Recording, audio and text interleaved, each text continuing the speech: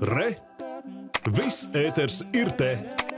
Pirms aptuveni nedēļas Covid-19 izplatības kontrolēšanai ieviestie ierobežojumi nav devuši gaidīto efektu un slimība turpina izplatīties. Šodien 250 jauni Covid-19 gadījumi, turklāt nu jau 4,4% no veiktajiem 5726 testiem ir bijuši pozitīvi. Tā Eiropā tiek uzskatīta par strauju un nekontrolētu slimības izplatības tendenci. Tāpēc valdība šo pēcpusdienu vienojusies par jauniem ierobežojumiem.